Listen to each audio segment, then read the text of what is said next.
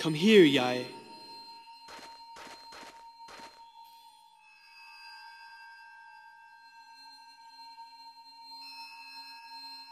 Don't give up. We can get out.